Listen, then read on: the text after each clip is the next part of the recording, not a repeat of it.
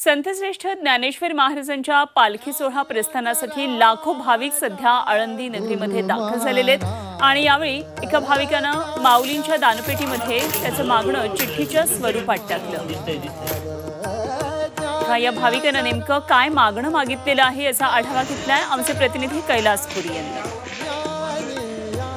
संत श्रेष्ठ ज्ञानेश्वर माऊलींच्या चरणी दिन होण्यासाठी राज्यभरातून नाही तर देशभरातून वारकरी येत असतात.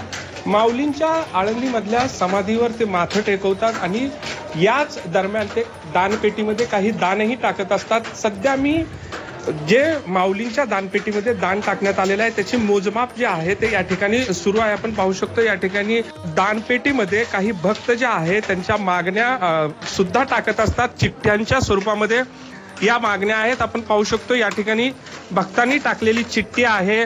त्याच्यामध्ये वारकरी जो वारकरी आहे त्यांनी काही मागणी केलेली आहे. नेमकी मागणी काय आहे आपण जाणून घ्यावं. हे जे दानपेटीची व्यवस्था पाहतायत त्यांच्याकडून. काय सांगाल किती प्रकारे या ठिकाणी चिठ्ठ्या टाकल्या जातात आणि काय काय मागणी केली जाते?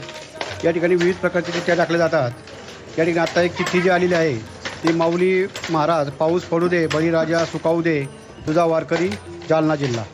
एकूणच आपण पाहू शकताय की या ठिकाणी वारकरी जे आहेत ते वेगवेगळ्या पद्धतीनं त्यांच्या मागण्या ज्या आहेत त्या माऊलींकडे मागत असतात आणि त्यांना आशा असते की माऊली त्यांची इच्छा जी आहे ते पूर्ण करतील. Kailaspuri Zee media Alandi Pune.